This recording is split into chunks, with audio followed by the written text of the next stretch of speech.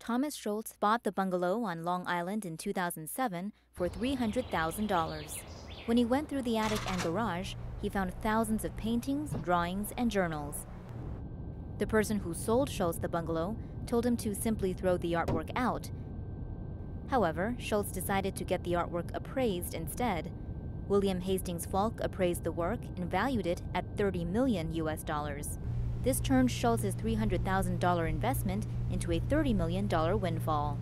The art was by the late Arthur Pinajian, who was a decorated World War II veteran, painter, and comic illustrator.